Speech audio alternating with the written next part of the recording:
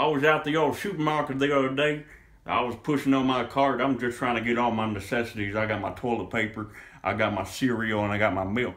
And I run my old friend Cletus. I'm like, Cletus, what you been up to? And he tell me, well, I've just been, you know, skating the line on the welfare dime. I'm like, Cletus, you ain't never getting a job. And he's like, nah, I ain't getting a job. And I told him, well, you can come work for me if you want. I got a couple of uh, sandbags you can carry around. He said, all right, I'll, I'll, I might hit you up, but I don't even got no phone.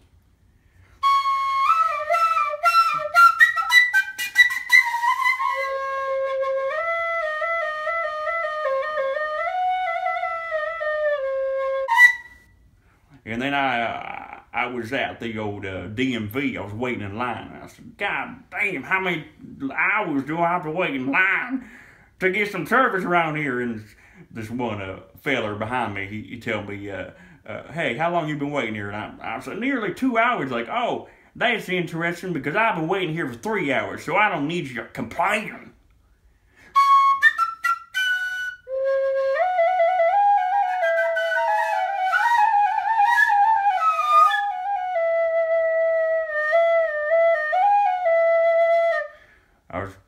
Down there in the old fishing hole with my boy, Chester.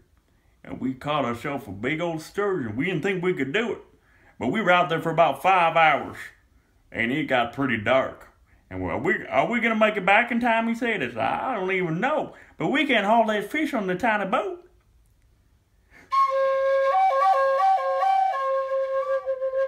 And I was out there in the truck. We caught ourselves a big old deer. We actually hit it don't tell nobody. We hit it with our truck, but we put it in the back cab. And we drove it into town. And someone's like, you got a big old deer out there. How much you want for it?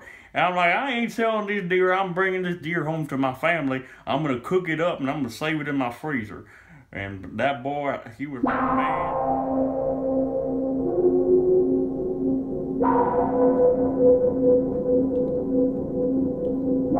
You ain't sharing that deer with nobody, ain't you?